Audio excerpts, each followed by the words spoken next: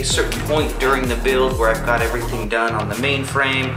We've got servos in, we've got ESC, we've got motor, we've got main rotor, we've got all of our linkages set, um, main gears in, we've done motor tensioning.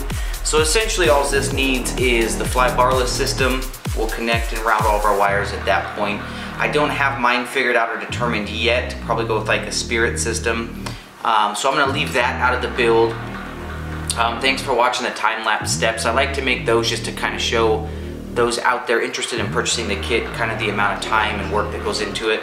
Now, you'll notice I have not yet completed the tail portion. Uh, it's very easy, very straightforward. I'm gonna leave that part off camera um, because of the fact that it's a belt-driven system. And I went ahead and installed my belt first before, uh, uh, instead of doing the tail boom and then the main gear. So since that part's done, it's gonna be really hard to film that like on the bench because of how long the tail boom is. So what I'm gonna do is complete the entire machine. I'll get the boom on and then we'll come back and kind of take a look at it overall and just do a, a final review. Uh, a couple of notes that I found if you guys are assembling up to this point is your C-clip underneath on the main gear. Um, in the kit, it comes with a couple of shims, and per the manual, it's supposed to be shimmed appropriately. Of course, you do have machining tolerances, so in the extra bag, they included two other shims, um, a mid-size and a really slim. I had to take my C-clip back off and add an additional shim to eliminate um, up and down play on the main gear. So that's a good side note there. Also, your servos, um, it's going to use mid-size on the Cyclics. Um, I had another set of mid-size ones um, made by RJX, but they would not fit. They were actually too long. They were they were interrupting into the main shaft. Whereas the um, the servo kit that I guess you could say comes with the combo on this one, the red and black ones, they fit perfect. They're a little shorter on the bottom end. So keep that in consideration. Um, but yeah, let me go ahead and I'll finish up the tail. We'll get everything assembled. Um, we'll take a look at the finished product and we'll go ahead and we'll throw the canopy on and get some mains and tails on there as well. So uh, give me one moment here to get that completed and I'll be right back.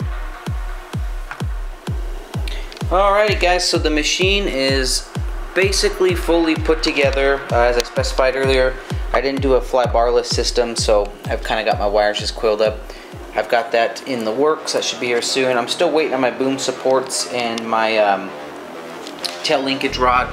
Just waiting for those to harden from the CA. But overall, amazing build. The quality of XL Power machines is absolutely fantastic.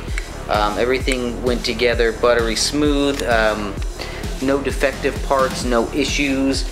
Some things that I wish were a little bit different that just make the overall build process easy, but um, a lot of machines share the same qualities. Things like 90 in the boom, um, kind of the servo geometry and layout was a little complicated.